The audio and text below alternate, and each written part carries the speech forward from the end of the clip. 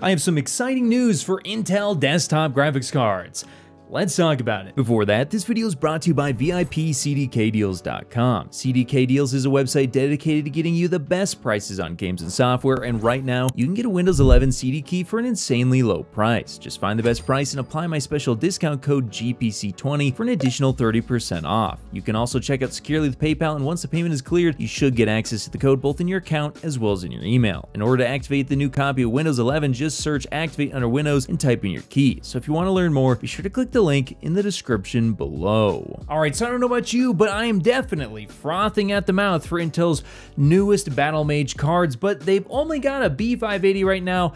I don't want a 60 class competitor, I want a 70 or dare I say even 80 class competitor. Well, it looks like we have even more information that suggests that yes, Intel could still be developing these cards and releasing them this year. Now, this first bit of information actually comes from a VideoCardz.com article where they spotted over on PCI SIG that there was actually a new entry for an Intel Arc B series graphics processor that is indeed rated for PCIe 5.0 at 32 gigatransfers per second. That means the entire 16 lanes of PCIe 5.0 will be available to this upcoming Intel GPU, and it is theorized that this could indeed be the Intel Arc B770, the GPU that we've all been waiting for. This is important because it is also a possibility that some of the CPU overhead problems that are coming from these GPUs could potentially be partially to blame on the lower bandwidth interface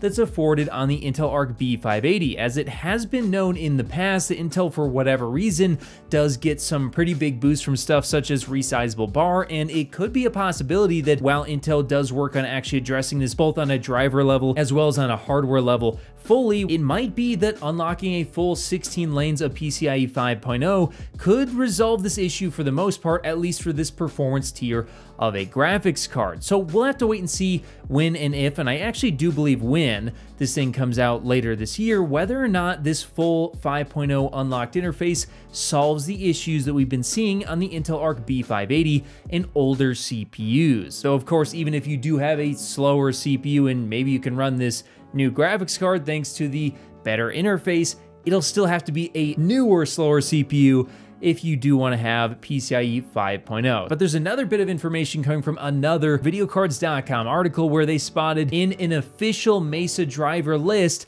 they did indeed actually put in writing some new Intel BMG GPUs. Now, this is very interesting because they do actually list G31. Now, according to the leaks and rumors, G31 does indeed signify that we're talking about their highest end Battlemage GPU. This would be something like the Intel Arc B770, maybe they'll call it the B780, as well as B750. And these things would actually be going toe to toe with stuff like an RTX 5070, maybe they could be even faster, maybe somewhere between there and an RTX 5080. And we'll take a look at that in just a second. But if you take a look here, they do actually list a good number of different GPUs. We have, it looks like four in total, which likely signifies, again, something like a B770 and a B750, as well as possibly two data center variants. Now, we do also know that this new Intel B770, according to all the leaks and rumors, is going to house 32 compute units. And when you compare that to the B580, well, that's a pretty massive increase. In fact, it's 60% more cores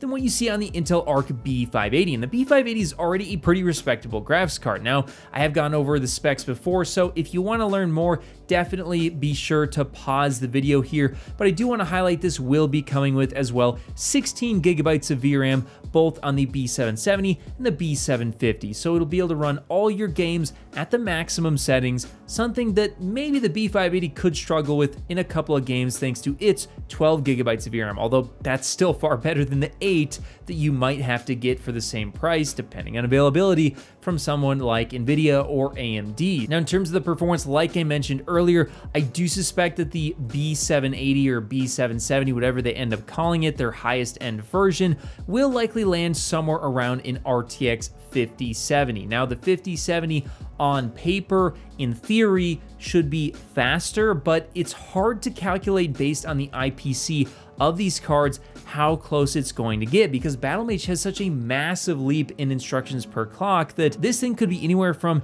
slightly slower than a 5070 to somewhere between a 5070 and a 5080 depending on the scaling of the cores. And that's something we won't know until we get closer to the release date, which by the way is going to be quarter four of this year according to all the information we have available. So there you have it. There's even more information, this time some official information straight from Intel that this GPU does indeed exist and everything is pointing towards a release at the end of this year or possibly a little bit earlier. But definitely take this stuff with a grain of salt. I believe it will happen, but we don't know for sure until again, we actually get it in our hands. But hey, that's just what I think. Do you think that the Intel Arc B770 and B750 will exist, or do you think they'll end up getting canceled before they have a chance to release? And if they do exist, how powerful do you think these graphics cards are going to be? Do you think they'll match the 5070, exceed it, or maybe be even a little bit slower? Let me know your guys' thoughts in the comments below, and of course, I'll see you in the next video. If you made it to the end of the video, be sure to drop a like.